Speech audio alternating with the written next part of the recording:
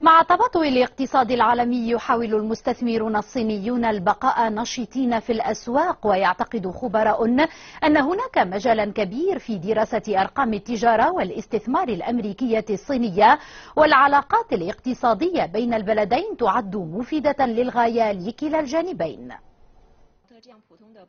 يقوم سكوت منذ زمن طويل بتداول الأعمال التجارية في بوسطن لأكثر من 30 عاما وهو يركب مترو الأنفاق إلى العمل كل يوم. ويقول أن بعض خطوط المترو في المدينة قديمة جدا وأكبر من عمره وكان ينبغي استبدالها منذ سنوات.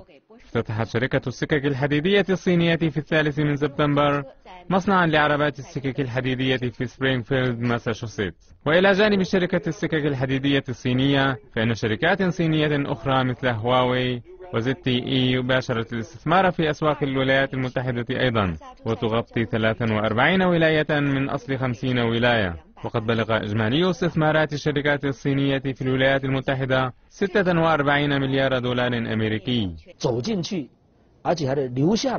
في الماضي كان يمكن للصين تصدير الأحذية والجوارب فقط إلى الولايات المتحدة. أما الآن فنصدر سلسلة كاملة من الخدمات والمنتجات إلى الولايات المتحدة بما في ذلك المعدات المتطورة والتكنولوجيا والإدارة ورأس المال والخدمات.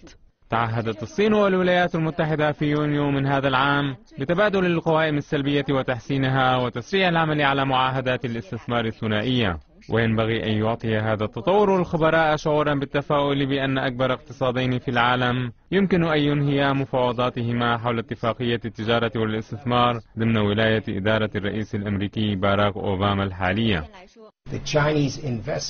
سوف ترتفع استثمارات الصينية لتتجاوز حتى أعلى مستوياتها المرتفعة في الفترة الأخيرة وسوف تستفيد الولايات المتحدة من ذلك. هناك ملايين الركاب مثل سكوت تماما وهم يركبون مترو الأنفاق يوميا في الولايات المتحدة.